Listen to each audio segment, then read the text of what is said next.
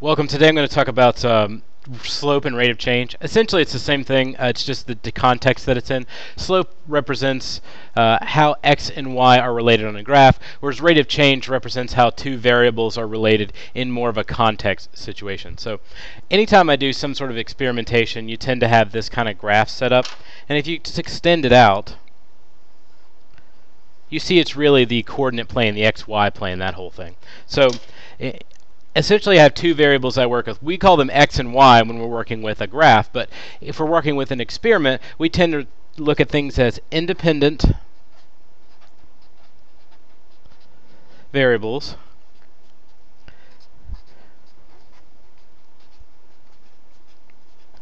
and dependent variables.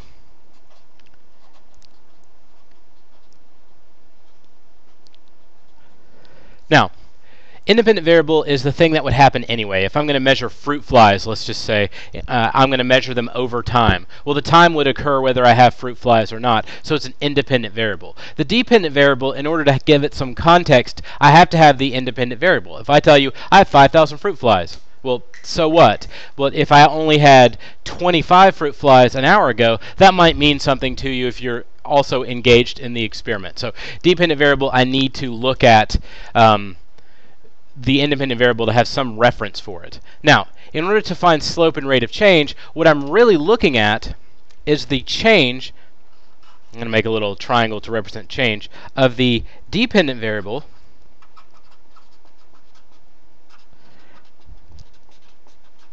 as it relates to the change in the independent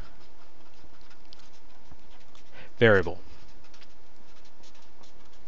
That's my rate of change. So what I'm looking at is how one changes in relation to the other. The reason that the dependent variable is on top is because that's the thing I'm looking at. I'm most interested in that aspect of the experiment. So measuring independent variable change versus dependent variable change gives me a mixed message. If I want to measure how fast a car is going, uh, I need to do miles per hour. The hours will happen anyway, but the miles is the part I'm interested in, so that needs to go on top to make my uh, rate of change information the most useful to me. If I'm looking at slope, which is the graphical side of it, if I was to look at this as a graph and I wanted to know this information, how it changes over time, uh, then I would look at slope. I'm looking at what we call rise over run. Now, the rise part would represent the y, or the change in the dependent variable. The uh, run would be x change, so the change in the in, the independent variable. So rise over run is really a look at change in y over change in x. I just want to know how it moves and how it changes. So let's look at uh, some rate of change and slope questions so we can get this thing knocked out here. So the rate of change question here, uh, in the first one I want to look at the change in miles versus an hour. And in this situation it's nice because uh, I need to analyze the change in the dependent variable, which is miles.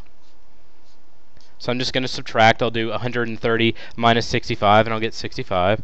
I do it here, and then I do it here. They're all changing by 65. I also need to make some comparison statement about the relationship for my independent variable. So if I was doing change in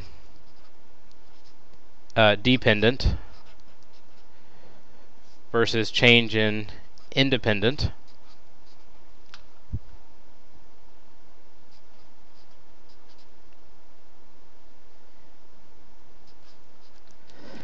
my uh, change in dependent here would be 65. My change in independent is just 1.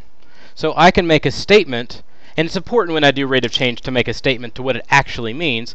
This would be 65 miles per hour. And I need to put that kind of information in to make uh, the math teacher happy. Now in the next one I need to look at the change in the y. So uh, my father was actually a tool maker for a uh, end factory, which are like when you have soda cans or whatever type of aluminum can you have, the part that you pop top, the bottom and top of those cans are actually made separately than the wraparound part that makes the can itself. So he worked in a factory that made those ends, and he was a tool maker there. So I made uh, a rate of change question about maintenance cycles and uh, how many ends were made uh, between maintenance cycles. So how often you do some maintenance on it, which is the kind of stuff he would have to do.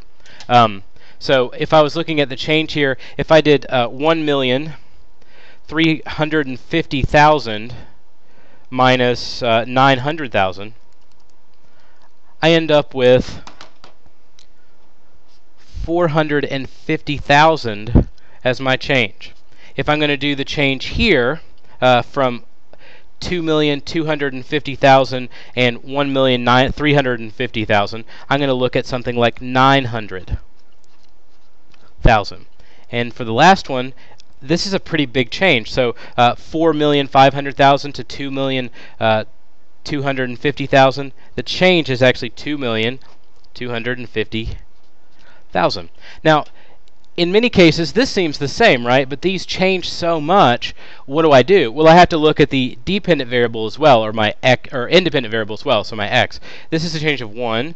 This is a change in two, and this is a change in 5. And that plays a big part in the overall change in the question. So what I'm going to do is make little fractions for each one, or little ratios for each one anyway. So I'm going to mark this out,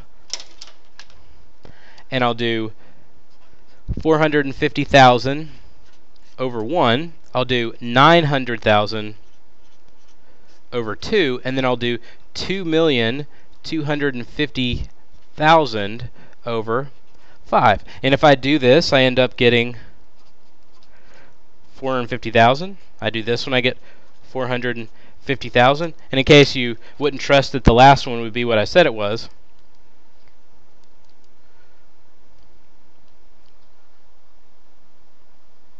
Four hundred fifty thousand, just like I said. So the change that I'm making is four hundred fifty thousand ends per cycle. Because without this part, this part is almost meaningless. So I need to make some statement that's actually useful. So let's look at, that's rate of change. Let's talk about slope. Slope is just the mathematical uh, representation of rate of change.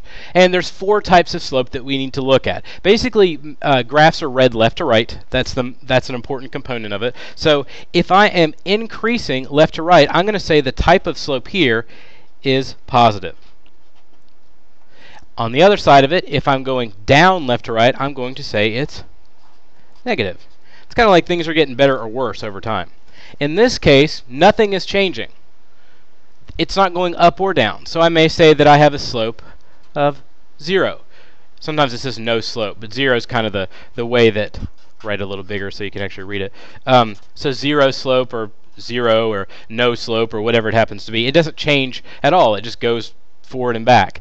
In this last case, if I said things were getting worse over time or better over time, in this case time stops completely. And you can't do that.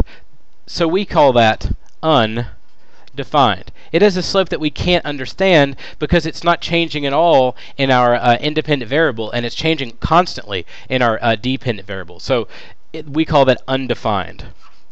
Write that a little bigger as well. Now, from here, that's if you have you know that kind of setup in order. So let's look at it in terms of how we can slow, uh, how we can find specific slopes if we're given graphs. Slopes from graphs.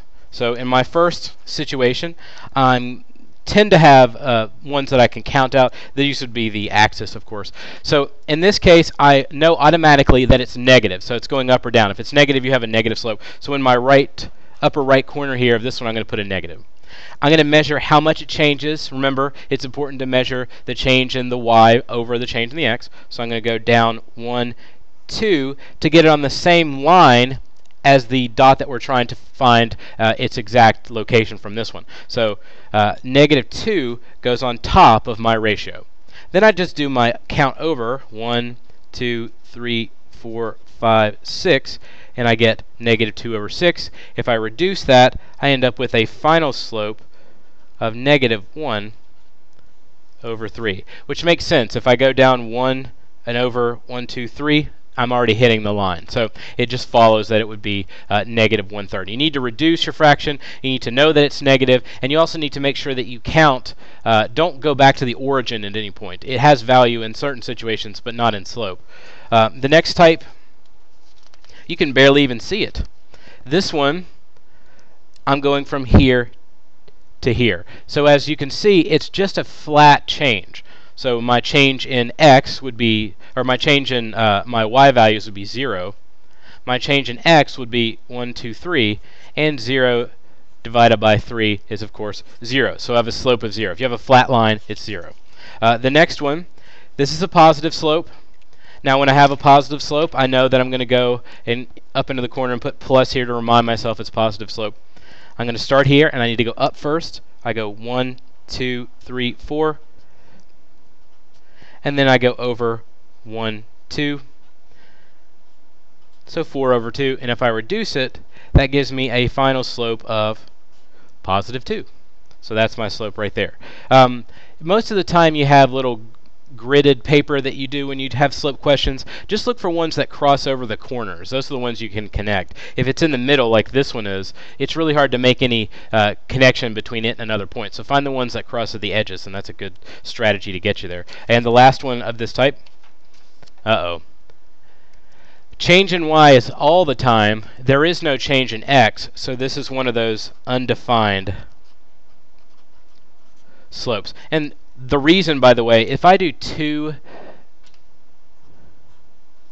and I divide that by a change in the x value of 0, hopefully this shows up, 2 divided by 0, should be able to see if I can get the screen to work. See, it says error divide by 0 because you can't divide by zero. So it says it can't happen. So that's when you have an undefined slope. So if all else fails, just punch them in, and you'll sh it'll show you that yeah, that can't happen. Uh, the next thing we're going to do is look at slope in terms of well, what happens if you don't have uh, a graph? You just have coordinate points. That's when I'm going to use the slope formula. So this is if I have one, two, and three, four.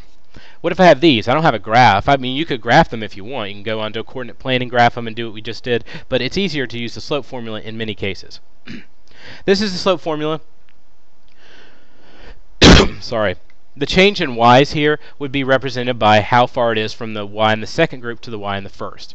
Change in the x's, change in the distance from the x in the second group to the x in the first. That's what these mean. These little numbers have nothing to do with squaring them. If they're below the number, that's subscript. It's just a label.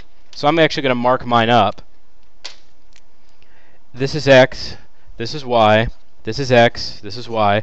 This is the second group, and this is the first group. And it really doesn't matter which one's the first group and which one's the second. The, what does matter is that you have the matching y's and x's on top of each other. So if I choose to, instead of using 4 here, I choose 2, I need to make sure that the one I start with on the bottom is 1. That keeps the reference point the same. So in this case, I'm doing 4 minus 2 over 3 minus 1. Ended up with 2 over 2, which is a final slope of positive 1. That's how you can get it done. By the way, if one of these is negative, say I had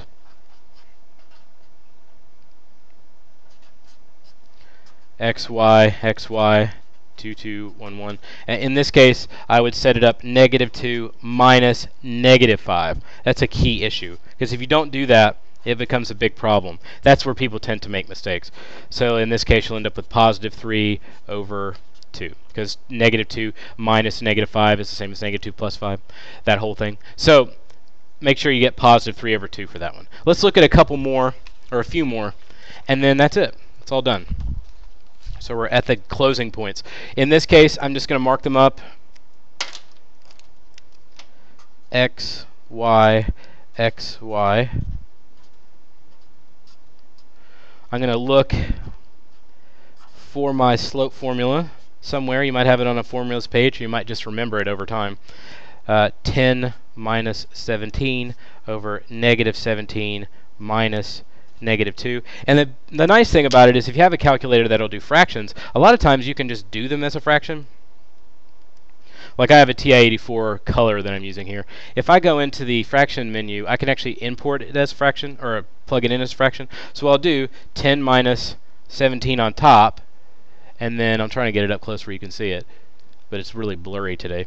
Uh, on the bottom, I'll do negative 17 minus negative 2, and I'll hit enter, and I'll get uh, 7 over 15. And the fact that you can't see it is not very helpful, so I'm going to sweeten conversation here for three seconds so that I can show you one on a calculator that actually will show you because of the way that the screen is set up.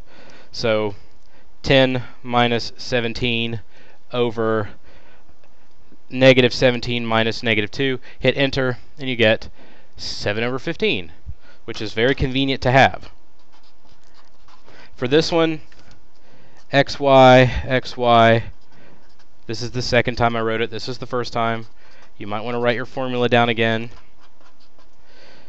Negative 4 minus 5 over 10 minus 10. Now in this situation, the bottom part's going to end up giving you 0. And if I divide, or I do negative 9 divided by 0, uh, undefined because it says you can't divide by 0. So my answer for this one is undefined.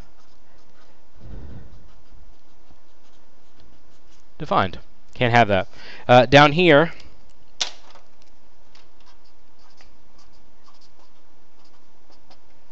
uh, y sub 2 minus y sub 1 over x sub 2 minus x sub 1. In this case, I'll end up with 0 over 24, which if you divide 0 by anything, you get a slope of 0. So that works out perfectly fine. And the last one, And the key issue here is really marking them up, I mean in the beginning anyway, before you get really used to it. Make sure you, that you mark them up appropriately, you plug the values in as intended, and then you'll get the right answer because the hard part is doing it wrong for a long time. And I'm going to punch this one as a fraction just so you can see. Um, the hard part is doing them wrong for a while and then you start mixing the signs around and it becomes a huge problem. So just take your time in the beginning when you first see it and you'll get nice answers like negative 2 as my final slope. And that's it. So that's all you have to do to do slope and rate of change. Hopefully uh, you find this useful.